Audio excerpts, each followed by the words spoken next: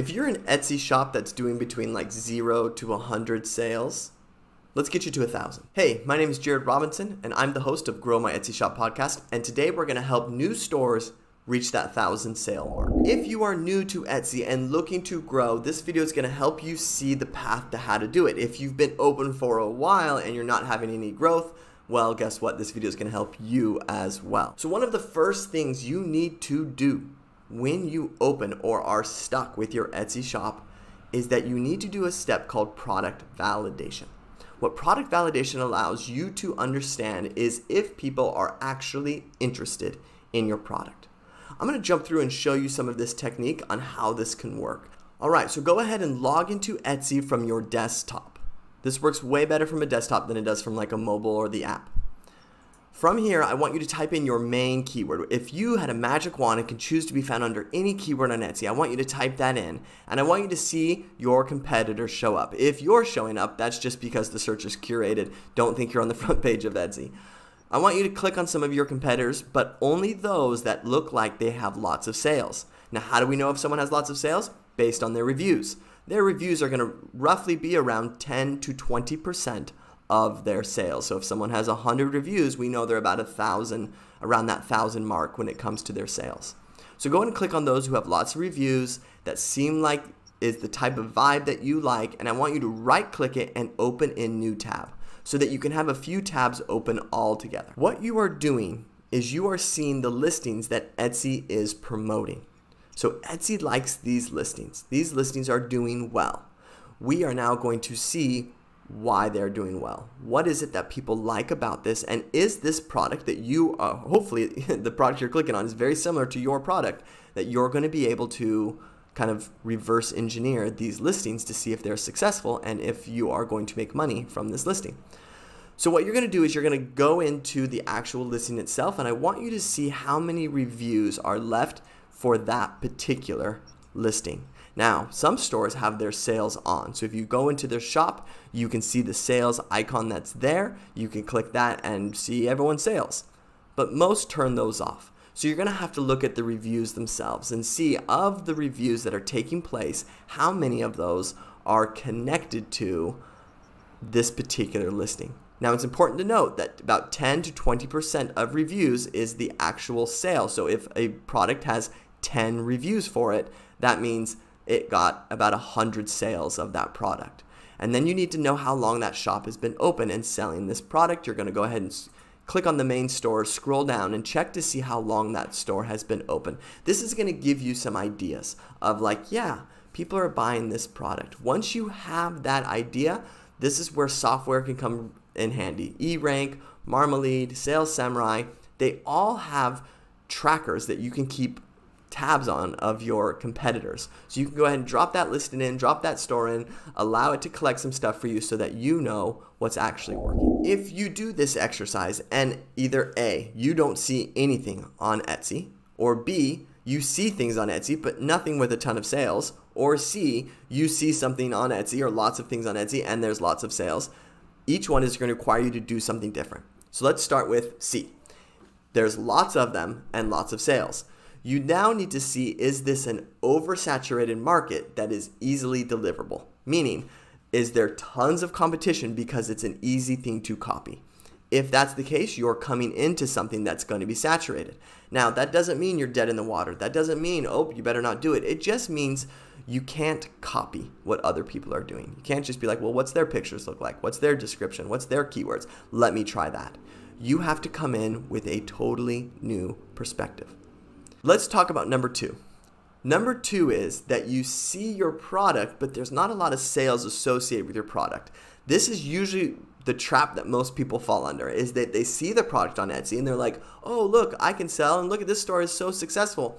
But they don't realize that it's actually a different product that is giving them their sales. So you're bringing in a less popular product hoping to get the same amount of sales as that competitor. And that just doesn't work. So if that's the case, I need you to reevaluate, reevaluate what you're doing. I want you to sit down, I want you to see what they're doing and be able to say, okay, I can see the niche that they're serving. I can see that this particular product isn't right.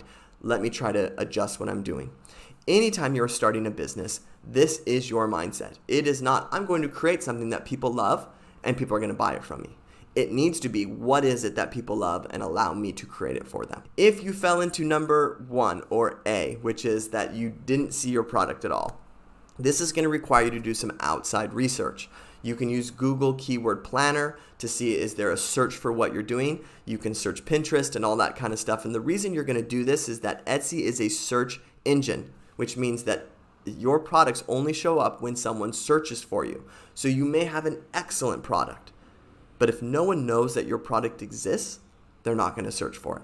And if they don't search for it, well, then a lot of that traffic is going to need to fall on you instead of on Etsy. And then I need you to evaluate is Etsy's fees worth me bringing all my own traffic to Etsy? Now, for the sake of this video, let's just say that you went through and you saw that, yep, my product is there, people are buying my product, they're leaving reviews for this product. I have a good product. It's just not being found. My competitors are beating me to the punch. Okay? If this is you, this is what I don't want you to do, which is super tempting to do. Copy your competitors. I want you to imagine this, and this is from a book called The Purple Cow, but if you were to drive in and look at a field of cows, you don't really draw your eye to a particular cow. Well, that's what happens when you're in this search engine without anything that stands you out. If you're just copying your competitors, you just become a watered down version of your competitor. And when you're a watered down version of your competitor, it becomes a price bid. You're entering a price bid. Who can who's willing to give up the, the most amount of money to get a customer? And you don't really want to enter into a field like that. So what you can do instead is present yourself as a better version. This takes business mind. You have to be able to say, what makes me different? How can I be better? So when we look at our competitors, instead of saying, Ooh, I really like that, I'm going to copy that. Ooh, I really like that, I'm going to copy that. I want you to say, How can I do this better? How can I get this? And if you go through this and say, I can't, move on. I'm telling you right now, it won't be worth the effort that you're going to put into Etsy because you're just going to be always behind someone else. But if you can carve your own niche of something that makes you better, you can see it. Oh man, I wish they did it this way instead of that way. And you do it that way, now you have something. You have a marketing principle that you can push off of, and you can convince buyers when they come to your listing hey, don't go this direction, go this direction here. And so now when they have a sea of white cows, all of a sudden this purple cow starts to show up and their eye is drawn to that. And they can understand that they can they can go with the lesser product and not get what the premium of what you're offering them that's what they'd be giving up. And if you can convince them of that, you're on the right path to really get to that thousand sale mark. Okay, so let's say that you've done your product validation. It checks out. You know what you're going to do better than your competition, and you're starting to do it. You are now entering the eyeball phase of Etsy. This means it is your job to bring as much eyeballs as you can because when you are confident that your product will convert and you have even some data that it will convert, meaning people are starting to buy from you.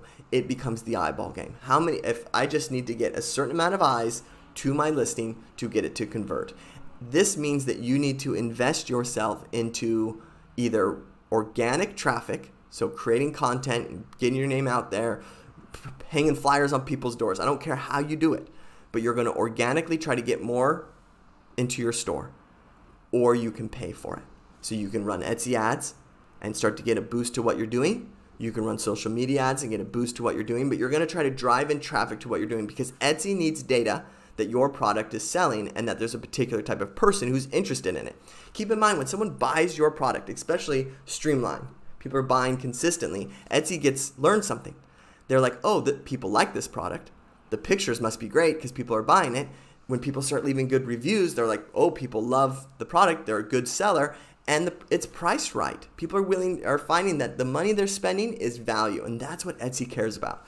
So once you start getting that going, you can start to build this up. And what I see in the accounts that I work in is that we'll be spending money on ads, and then as we and like their organic looks like this, and their ad traffic looks like this, and then as we continue, their ad dollars stay the same, but the organic starts to go, go, go, go, and it ends up going past. And that's when we start to lower back on our budget or we spread it out to a different uh, item at that time and we allow that organic to start to work for us.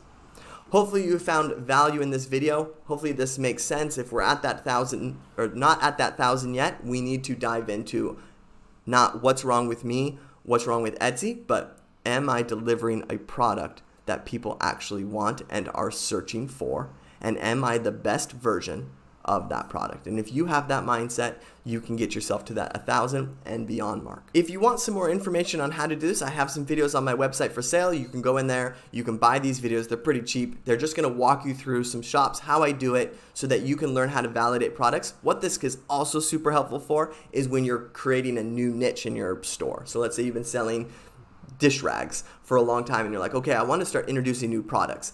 This is going to help you learn how to do that so that you're not spinning eh, spinning in the mud trying to find the right products. So if you're interested in that, you can go to growmyetsyshop.com or just click the link in the description and that can hook you up there. Until next time, see ya.